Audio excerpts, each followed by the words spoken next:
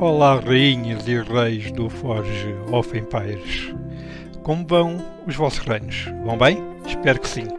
Hoje vou dar-vos uma dica de como entrarem mais facilmente nos vossos reinos apenas com um clique se usarem a versão desktop.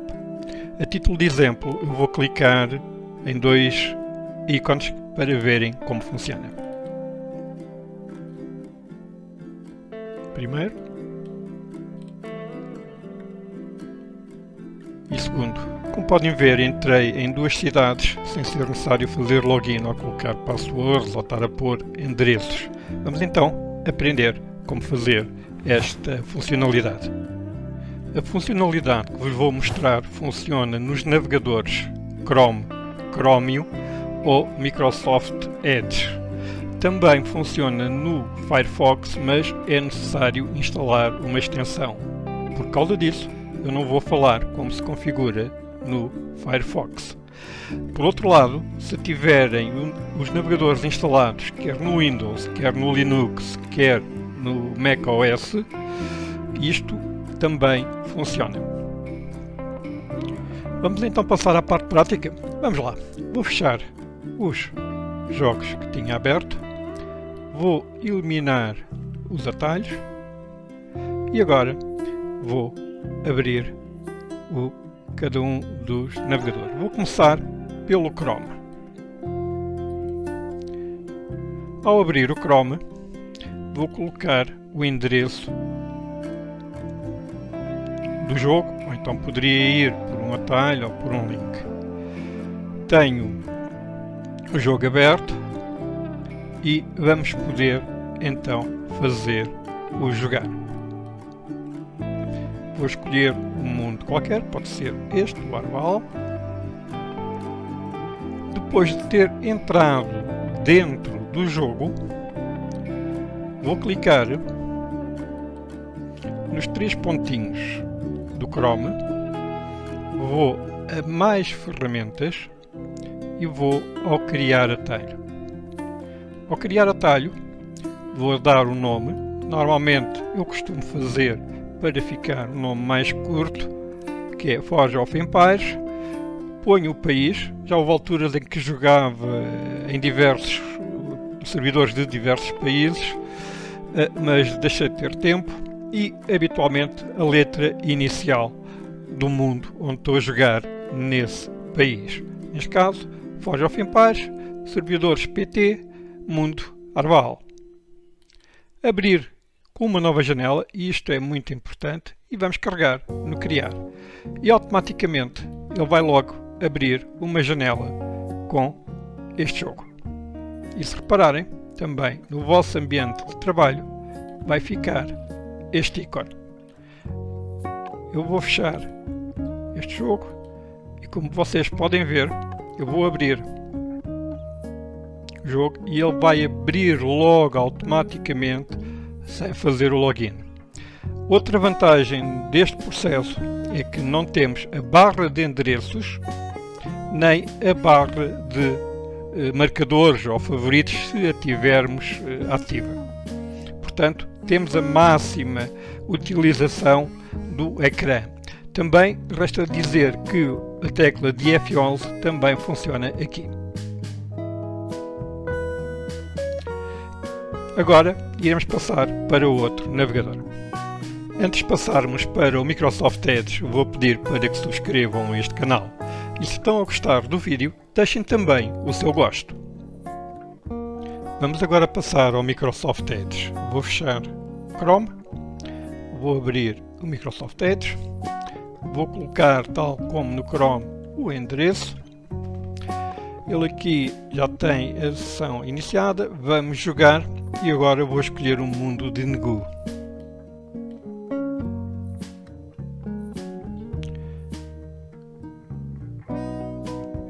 Com o mundo da nossa escolha aberto, vou clicar também nos três pontinhos, no Chrome estão na vertical, aqui estão na horizontal. Vamos carregar então nas aplicações neste caso e vou instalar este site como uma aplicação. Vamos também, vou seguir o mesmo critério que, tinha, que tive para o outro atalho.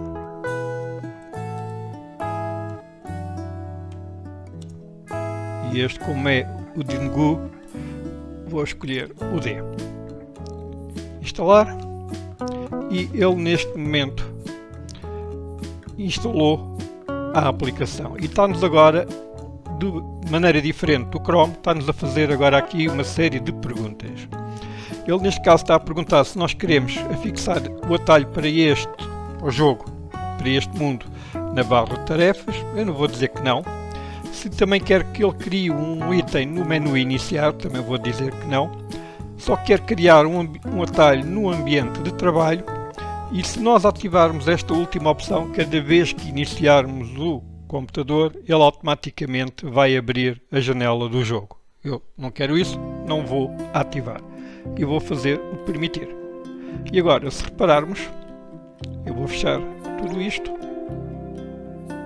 E se repararmos, temos aqui um novo atalho. Se eu carregar neste atalho, como podemos ver, não tenho nada aberto no jogo.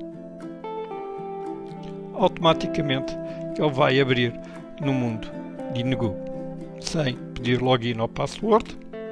Se eu vier a este mundo, a este aqui, ele vai-me abrir o mesmo também, mas neste caso já no mundo de Arval. Okay? Como podem ver, estou em áreas diferentes, num e no outro. Okay? Era colonial, progressiva. E é desta forma que nós conseguimos criar os atalhos como aplicação no Google Chrome ou Chromium e também no Microsoft Edge. A seguir eu vou falar sobre alguns problemas que podem acontecer e como os resolver.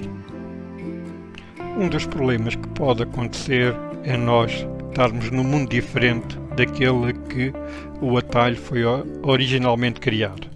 Vou exemplificar fazendo o mudar de mundo, indo ao mundo de Brisgard.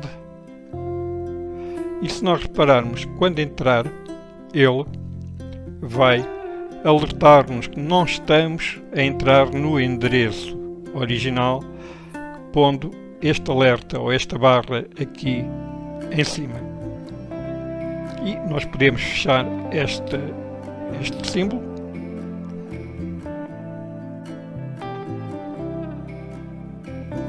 e ele vai voltar exatamente para o mundo original.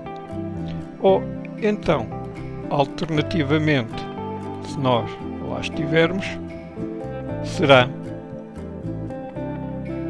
como será óbvio, regressar ao mundo original e já irá ficar tudo bem.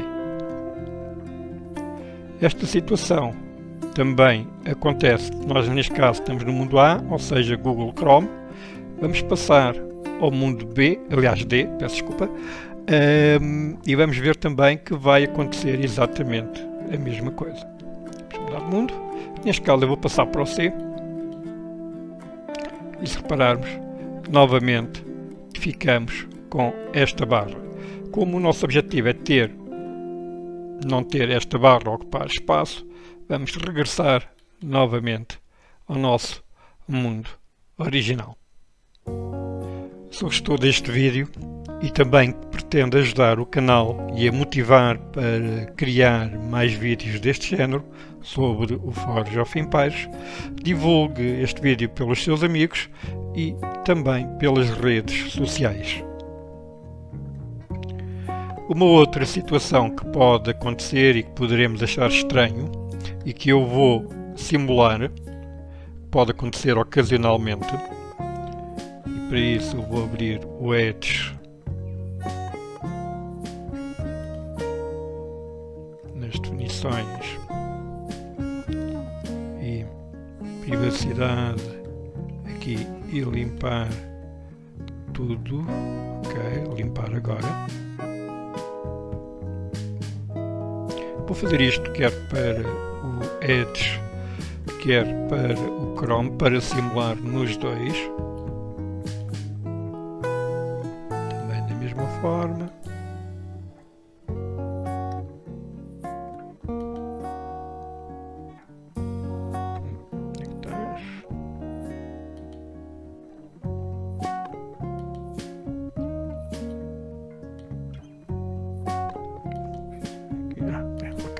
estava aqui meio perdido. Sempre está bem perdido. Ok. Está feito. Este aqui tem um bocadinho mais. Vai demorar mais um bocadito. Ok. Está. E agora, quando nós tentarmos abrir, se repararmos este aqui é o do Chrome, o que vai acontecer é que ele não vai entrar diretamente para o jogo e neste caso, bastará fazermos o login e, muito importante, ativar a opção de lembrar-me. E agora, se eu aceder e fizer o jogar e neste caso é o A, vamos ver que vai ficar normal. Como limpei todos os dados, ele demora um bocadinho mais. Eu também estou numa zona sem muita internet.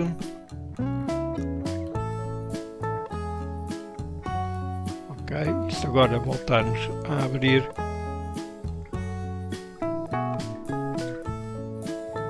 já irá abrir devidamente. O mesmo para o Chrome uh, desculpa, para o Microsoft Edge. Como podem ver, ele também entrou. É fazer os, pôr os dados de login, ativar o lembrar-me, aceder, fazer o jogar e agora irmos ao Dingo, que é o correspondente a este atalho. E a partir deste momento já iremos ter a entrada normal no jogo.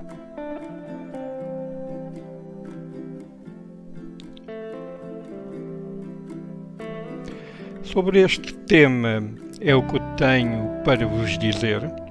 Se eventualmente pretenderem que explique como fazer para o navegador Firefox, pode escrever nos comentários. Também vou deixar-vos uma nota que é eu vou fazer uns vídeos sobre a ferramenta Full Helper ou ajudante Full Helper, que é uma ferramenta que nos permite ter informações mais detalhadas dentro do jogo. Isto em próximos vídeos. Por isso, já sabe, subscreva o canal, partilhe pelos amigos e pelas redes sociais. Até uma próxima, espero que tenham gostado deste vídeo.